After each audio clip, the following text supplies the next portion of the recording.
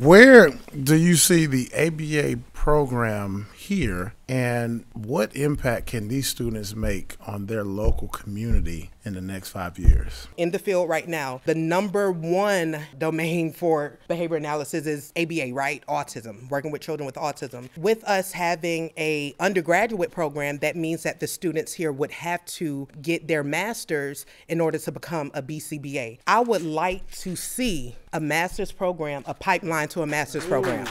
We need that.